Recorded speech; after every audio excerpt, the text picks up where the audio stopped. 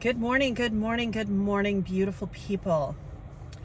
Um, I just wanted to come on today and just encourage you and just give you a little pep talk because I think we do ourselves a disservice a lot of times because we don't use this amazing brain that we have for our own our own good we're really good at imagining worst case scenarios. Lord knows I am really good at that.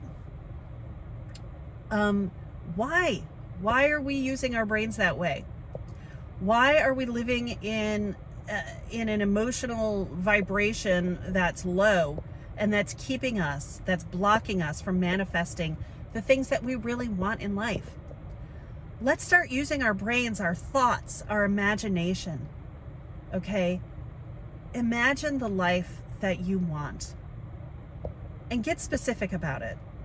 Uh, imagine the scenario. Imagine imagine what kind of car you would drive, what kind of house you would live in, what kind of person is your person. Imagine, you know, uh, what kind of job, what your bank account looks like. But don't just imagine it. Don't just dream it or wish it or go into prayer thinking, you know, you know, I, I don't know how this could happen. I, I hope it happens. No. All you need to do is live in the end, live in that belief that all things are possible. Okay? All things are possible. All right? Believe and, and live in that feeling. What does it feel like to have that bank account? What does it feel like to have that job? What does it feel like to drive that car? What does it feel like to have that person in your life? Okay? What does that feel like? Use your imagination and and really feel what that feels like. Because when you when you vibrate at that level, whatever it is, that's what you're going to attract to yourself. So if we're using our imagination to you know, think about worst case scenarios and oh is me and you know this never goes right and and all that. We're going to stay there okay? But we don't need to stay there.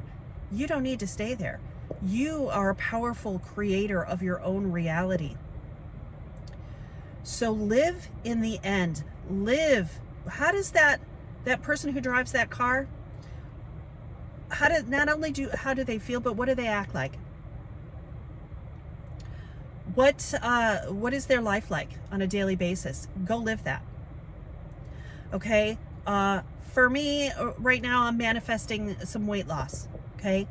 So I think to myself, okay, if I'm at this ideal weight, what does that what does that look like? What kind of clothes am I wearing? Where am I shopping?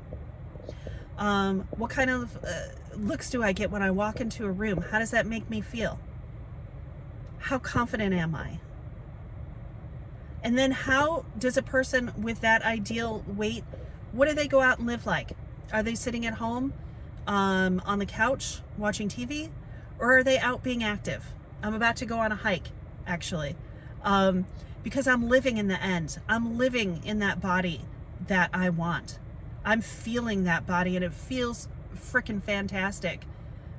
All right.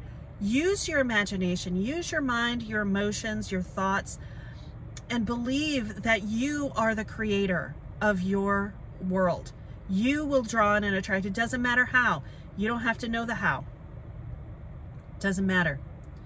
Get that intention of what you want, and you start by God believing in yourself, and you will draw that life to you.